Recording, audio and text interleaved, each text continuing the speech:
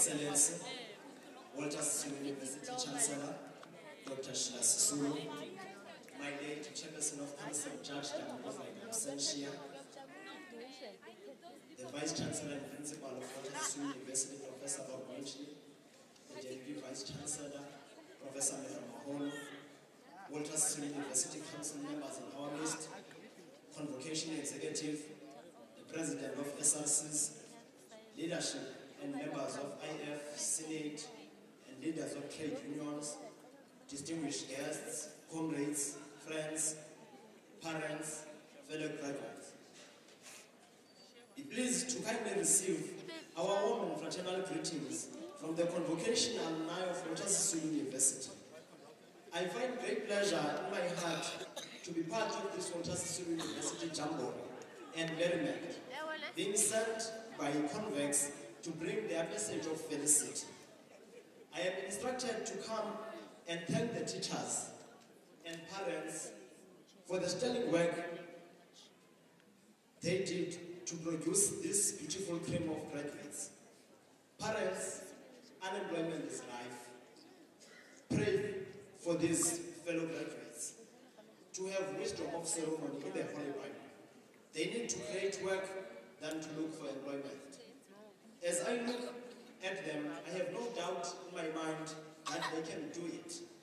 My mandate to you, fellow teachers, is to tell you not to stop the good work you are doing for our nation and continent. We appreciate your precious time you sacrificed to cover up work which was not finalized due to many predicaments, including the strikes and boycotts due to business.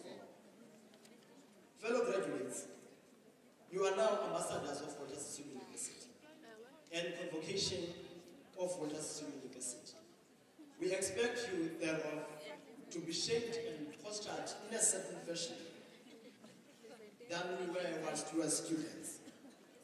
We expect you to be highly ethical, professional, and precise. The outside world does not tolerate mistakes.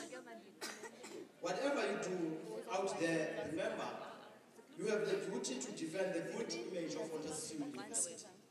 Some of you contributed highly in defending the good name of our alma mater when we were students. And now it's time for all of us to hold hands together and defend the good name of Sisulu University.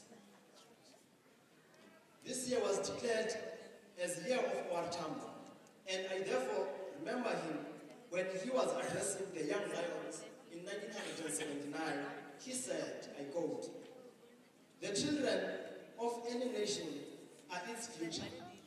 A country, a movement, a person that does not value its youth and children does not deserve its future. I quote. As I am addressing you, I have no doubt in my mind that you are the you are that future president O.R. Tambo once talked about.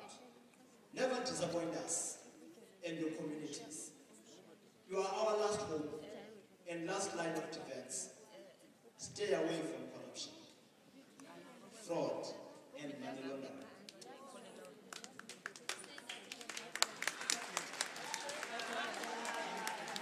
As you go out to the world, you must know that some of things O.R. And Sisulu fought for are still not yet achieved. Racism is becoming headlines in South African media press every day. I remember on the 27th day, January 1987, at Georgetown University, when O.R. Tambo once said, I quote, we seek to create a united, democratic, and non-racial society. We have a vision of South Africa in which black and white shall live together as equals in conditions of peace and prosperity, using the power you derive from the discovery of the truth about racism in South Africa. You will help us remake our part of the world in, into a corner of the globe on which all humanity can be proud. And close the quote. We must go to the world and preach peace and love. At this critical time of the looming World War III, which is likely to be provoked by President Kim Jong-un of North Korea and Donald Trump of USA, let us be agents of truth love, and peace. The book of St. Paul, writing to Philippians in the Holy Bible, contains some injunctions that capture a number of elements of what I believe constitute important features. Philippians chapter 4, verse 8 says, Finally, brothers and sisters, whatever is honorable and true, whatever is just and noble, whatever is pure and lovely, whatever is commendable and admirable, if anything is excellent or praiseworthy, think about such things. The same book in verse 18 says, I have received full payment and have more than enough. I am amply supplied. Now that I have received from the Epaphroditus the gifts you sent, they are fragrant, offering an acceptable sacrifice pleasing to God. The book of Philippians assumes that you, as graduates, you have the human and professional capacity to do as it says, to think about noble, admirable, pure things which are praiseworthy, which will smell unto us a good fragrance to God. Where we are, there will be peace, love, and equality. Alala, alala, amaqobokazana angalala endleleni yasenyembelekile. You are joining now a rich convocation of Walter University full of great talent. Great people in the land like Judge President of the Supreme Court, Justice Mandisa Maya, Justice Mwisen Madlanga, Justice Chris Jafta, in the Constitutional Court, Judge President of the Eastern Cape, Judge Mbenenge, Advocate Wingai Tobi, who was also the former president of the SRC in Walter University. Former Auditor General Terence Nombembe, the first female black chartered accountant, Nokululeko Gobodo, political analyst, Professor Fikeni, Dr. Lwazi Lushaba, book writer, political analyst and lecturer at university. Dr. Luyanda Mkhahlwa, the leading architect on urban design, was produced by this university. Dr. Dumisa Chilata, Africa's youngest neurosurgeon. Advocate Mangojwa, the CEO of National Heritage Council. Ululeko Swana, one of the leading auditing companies in Pretoria. Then you are going to join those brilliant and very brave convocants produced by Mutasa University as you live here. Be, be visible in our black and blazer that your identification in academic and professional gatherings.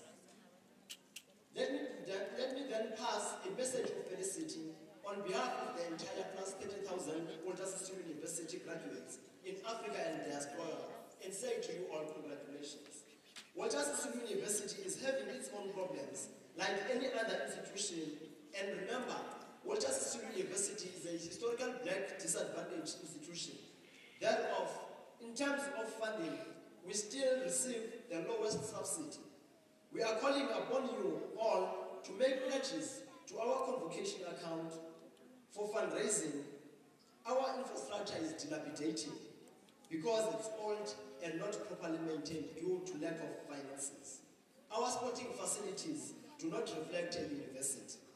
Let us donate at least, even if it's 20 rands per month, which will make difference. I have no doubt in my mind that we will do it. Xa ndizohlala phantsi, mandiniphe namazwi obulumko. I found that nothing in life is worthwhile unless you take a risk.